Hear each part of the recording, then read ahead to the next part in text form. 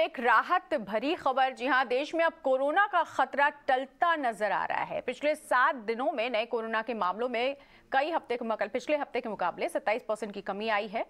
अब 27 परसेंट की कमी पिछले हफ़्ते के मुकाबले आई है, इसलिए ऐसा लग रहा है कि खतरा अब कम हो गया है। इसके अलावा एक्टिव केस और पॉजिटिविटी रेट में भी कमी देखी गई है।